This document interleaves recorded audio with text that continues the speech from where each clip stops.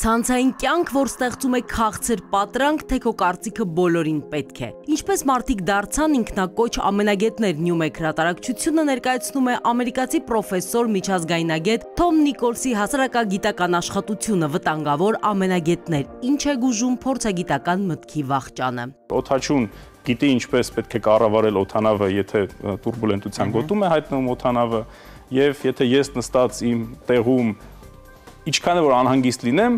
հավանաբար սխալ կլինի, եթե ես իմ տեղից վեր կենամ, գնամ օթաչուի դուռը ծեծեմ, ասեմ բացեք, ես գիտեմ ոնց են քշում, որտեղ ես կարդացել եմ Վիկիպեդիայում։ Թոմ Նիկոլսը բացահայտում այն վտանգավոր միտումը, որ բոլորն իբր ամեն ինչ գիտեն ու ամեն ինչի մասին կարծիք են հայտնում։ Հեղինակն ասում է, որ գիտելիքը երբեք այսքան հեշտ չի տրվել, բայց մարդիկ էլ երբեք այսքան չեն ընդդիմացել սովորելուն։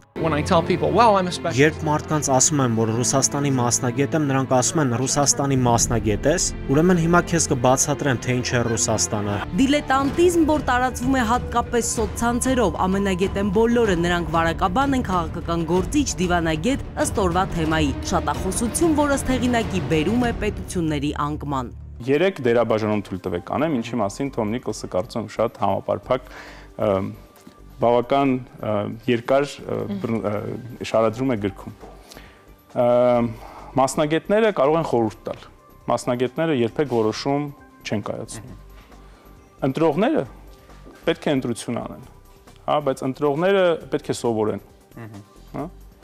Իսկ քաղաքական գործիչները, ովքեր ընտրվում են որևէ պաշտոնում կամ հանրային դիրք են զբաղեցնում, իրենք պետք է որոշում կայացնեն։ Ինչպես ամենագետ դարձան բոլորը ու ինչու մասնագիտական կարծիքն ու գիտելիքները դարձան երկրորդական գրքի հեղինակը Դարի հիվանդությունը ներկայացնում է մանրամասն ու մասնագիտորեն։ Միջին դարերում տեսանելի չէր, որովհետև բնակչության մեծ մասը ճորտ էր։ Գյուղացի, ճորտ, բնակչության մեծ մասը ապրում էր գյուղերում, քաղաքներում չէին ապրում, քիչ էին ապրում։ Մի 80% գյուղերում էր ապրում, միջին դարերում։ Եվ այդ մարդիկ նախ կարծիք հայտնելու իրավունք չունեին, եւ հետո կարծիք հայտնելու խնդիր էլ չունեին։ Նրանցից ոչ ոք չէր հարցնում, Եթե կարծիք հայտնեին չարաչար կպատժվեին, իսկ պատճառով այդ մարդիկ իրենց կարծիքը պահում էին իրենց։ Եվ կարծիք հայտնողները միայն ազնվականությունն էին, իշխաններն էին ավելի վաղ շրջանում, արիստոկրատիաներ, որ կարծիք էին հայտնում, այսինքն նրանք, ովքեր կրթություն էին ստացել, գրել կարդալ գիտեին, կարդացել էին ինչ-որ մի բան եւ որոշում կայացնողների դասն էին ներկայացնում։ Սոցցանցերն ամենապարզ ու ցայտուն ձևով են ցույց տալիս վտանգավոր ամենագետներին, բայց խնդիրը, որի մասին խոսում է ամերիկացի գրողը, բոլոր ոլորտներում է ու ամենուրեք։ Իրականում Facebook-ի ամենագետները այդ ամենա պարզունակ ու ամենաերևացող ու ամենա հեշտ ծաղրելի մարդիկ են, իսկ կա շատ ավելի տխուր ու շատ ավելի դժվար պատկերացվող խնդիր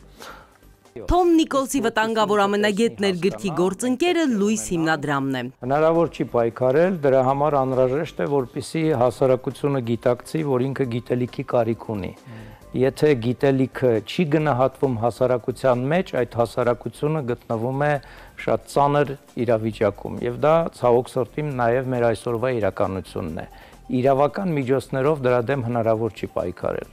պետք է մարդիկ գիտակցեն, որ իրենք չեն կարող լինել ամենագետ եւ չպետք է ձգտնել լինել ամենագետ։ Թոմ Նիկոլսը վտանգավոր ամենագետներ գրքում ցույց է տալիս, թե ինչպես է ձևավորվել փորձագետներին արժե զրկելու միտումը։ Պատճառներն ըստ նրա շատ են, սակայն առանձնանում է համացանցի ու ինֆորմացիայի տարածումը, որը ստեղծեց ոչ թե կրթված հասարակություն, այլ ինտելեկտուալ ձեռքբերումները մերժողների ու նիհիլիստների բանակ։ Մանուիլիցյան, ժամը լրատվական։